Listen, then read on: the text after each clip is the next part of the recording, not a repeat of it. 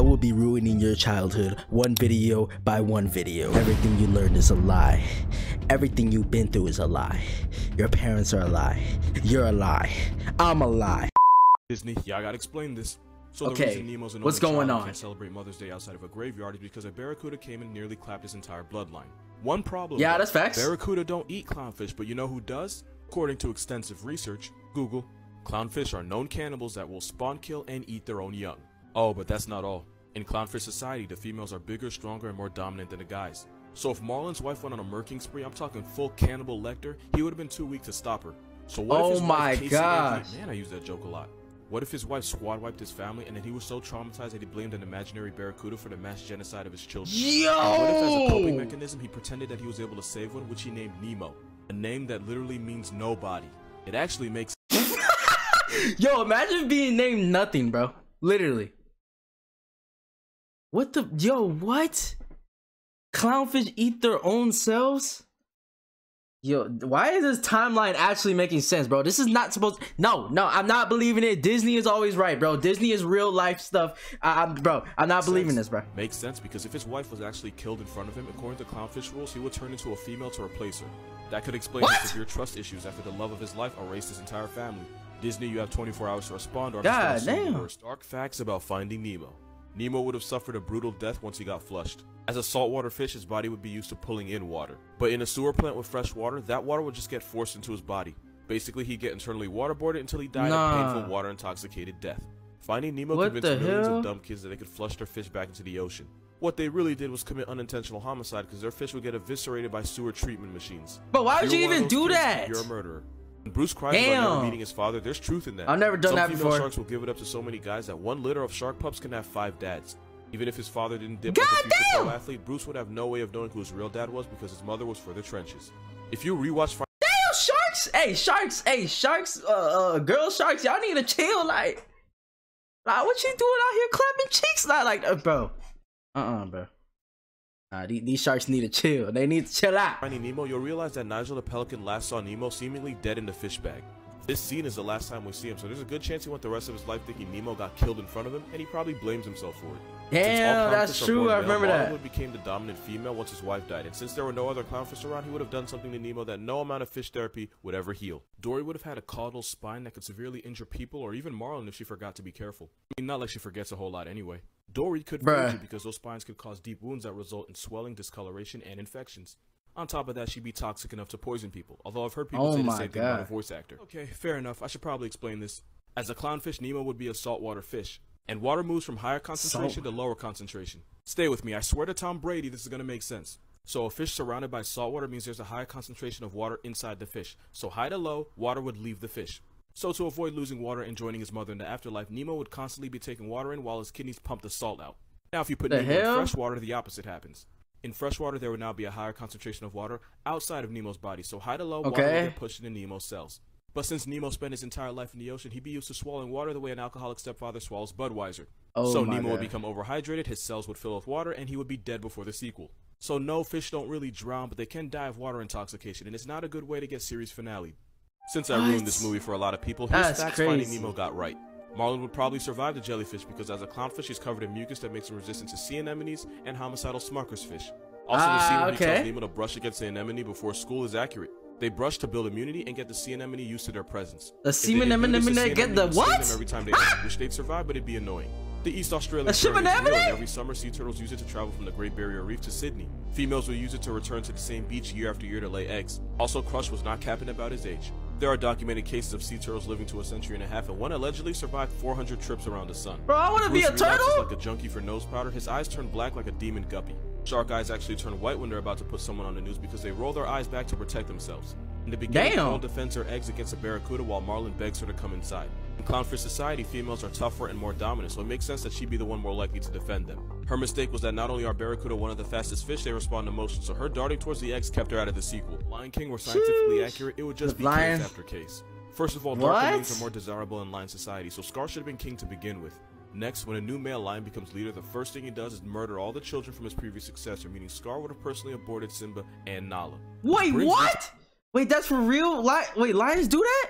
All the children from his previous successor, meaning Scar would have personally aborted Simba and Nala. And my lion don't do that. My lion, hey, he's noble. He, my lion don't do that. We don't do that over here. We don't do that. We don't do that, bro. Brings me to my next point. Mufasa was the alpha lion, meaning any cubs we saw were fathered by him.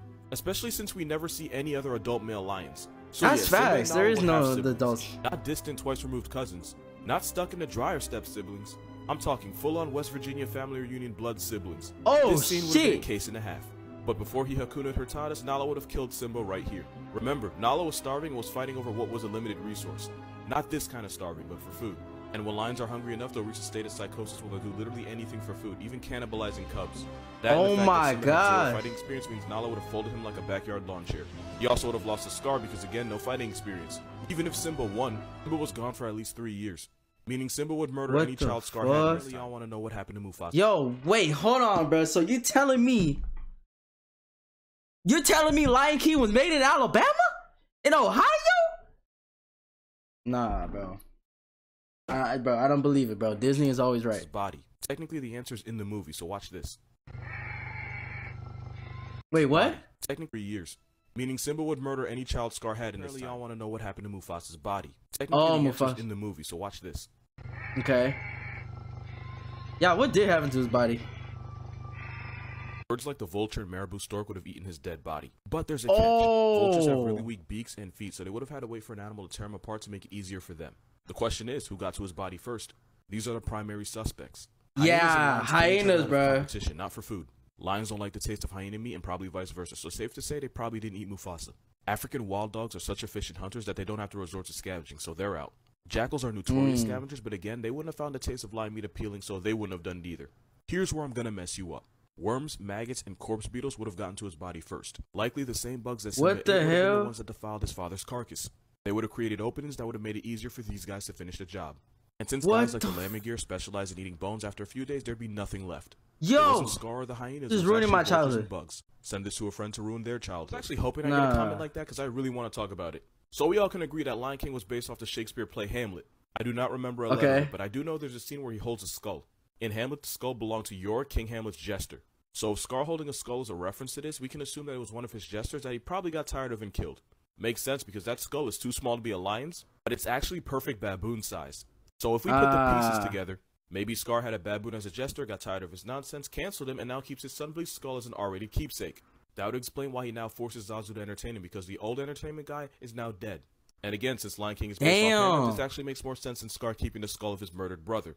Or maybe I'm just overanalyzing a kids movie from 1994 because Yeah, I probably that. nothing better to do. But Yeah, I like probably that, my so I'm boy. going with that. First images in nature you're gonna wish never images saw. in A nature. moose shedding its velvet. A jaguar on some Genjutsu Tsukiyomi. What the larvae hell? Of the blue bottle fly. Ew! Telescope fish. Man's tripped acid, stumbled into What the? the ninth wait, what is that? What is this? Yo, that that's got to be probably the most ugliest thing I ever seen in my life. some shit that he can never take back. A moth covered in mind controlling fungus that basically turns it into a zombie. Ew. The devil's tooth. Basically an Australian mushroom marinated with Lucifer's love nectar. Seaweed What the fuck? look like seaweed. The skeleton of a pufferfish. If you Oh, see this, nah. make sure your friends do too. First image is that if I have to see, so do you. A fungus Bro, called more curs- polymorpha, aka That's a zombie!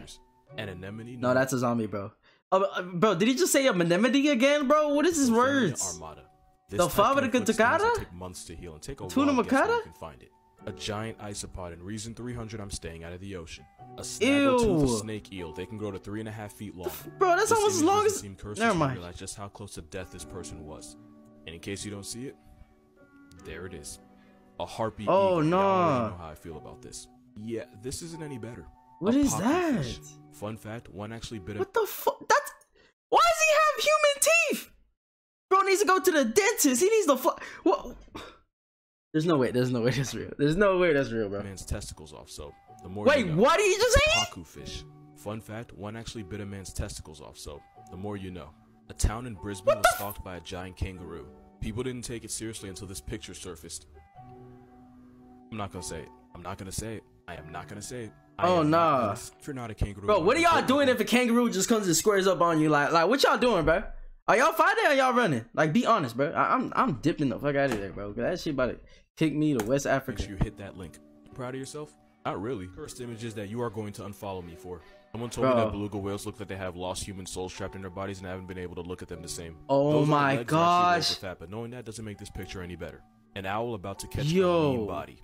And if you doubt that an owl can take on a cat, they will. Nah, owls are ruthless, bro. Speaking of owls, I know that. Nature gave them feathers for our sake, not theirs. This picture's bad enough until you realize those are its own guts in its mouth. And looking at those lines, they have zero intention of mercying them. They're gonna watch it suffer. Ew. Here's a reminder that this prehistoric feathery demon is as tall as some people. They have a longer wingspan than LeBron, and I will see this in my nightmares tonight. Oh hell no, sloth bro. Like. You're welcome. Oh, This sloths are ugly.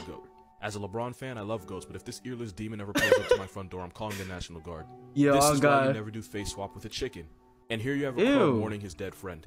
Crows are highly intelligent and can form strong emotional bonds with members of their. I was wrong. Oh, Some images that you're probably gonna unfollow me for. If you can't find a Bro, snake in this picture, don't worry. Neither could this bird. Oh, and speaking of birds, Oh, this is what a baby pigeon looks like.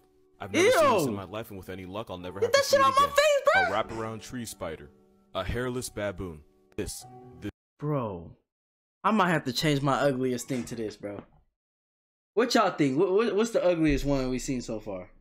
God damn! Like, what are your nipples? You know what? I don't even want to know. I don't even want to know. Major trigger warning right here. A Suriname toad giving birth. Just a lion, right? Ew. Look a little closer. There's a hyena Oh. right there, and the lion has no idea. Hyenas have been known to hide inside elephant carcasses.